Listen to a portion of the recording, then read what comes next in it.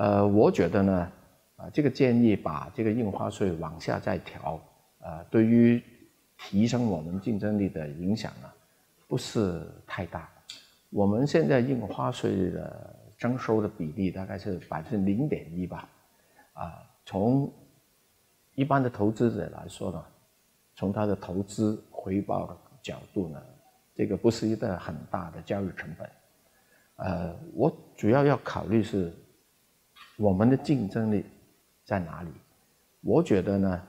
呃，在香港这个市场的人家来投我们的股票。啊投香港市场的时候呢，啊，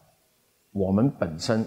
已经有足够的竞争力了。他如果要选我们的股票投的时候，他也不可能啊去一个其他的市有一个替代的市场，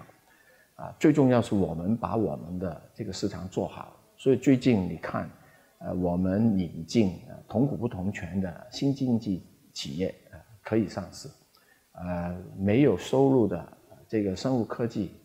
公司也可以申请在香港联交所上市，所以最重要呢是怎么样让我们这个上市平台能与时并进，而且呢把握好啊这个这个产业的发展的方向啊，如果能把这个把握好的话呢啊，不断提升我们自己呢，我们觉得呢这个才是我们最核心的这个竞争的这个关键的。因素。